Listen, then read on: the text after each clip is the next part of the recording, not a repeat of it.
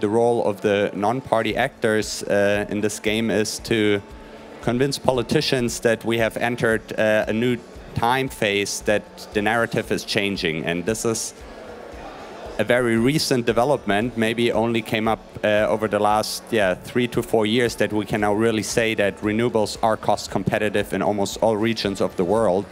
And uh, for many policymakers, that hasn't um, arrived in their minds yet. You often get the impression because very much they listen to the to the old story, to the old orthodoxies, mm-hmm. and the role of non-state actors such as my um, think tank Agora Energiewende is to provide good information, good fact-based studies uh, to show the parties uh, and the governments that it's in their own interest to act decisively on climate change.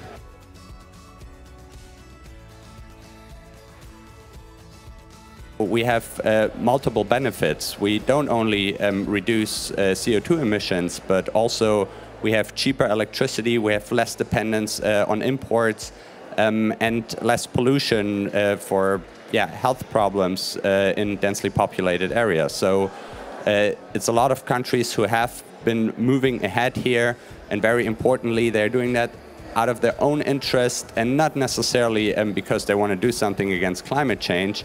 It just has become economic now to invest uh, in renewables.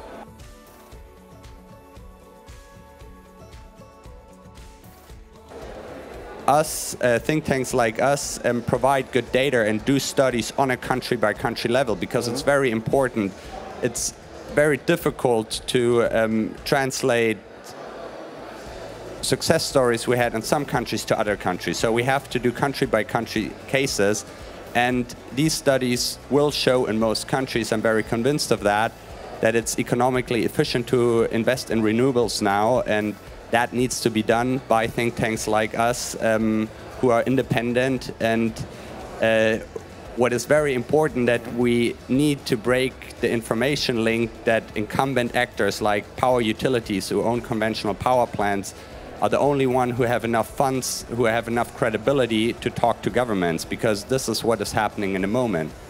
So we need to build up more think tanks like that to provide good informations to government. And if they understand these informations, they will increase their ambitions um, just out of their own interest because it makes sense to uh, do climate protection.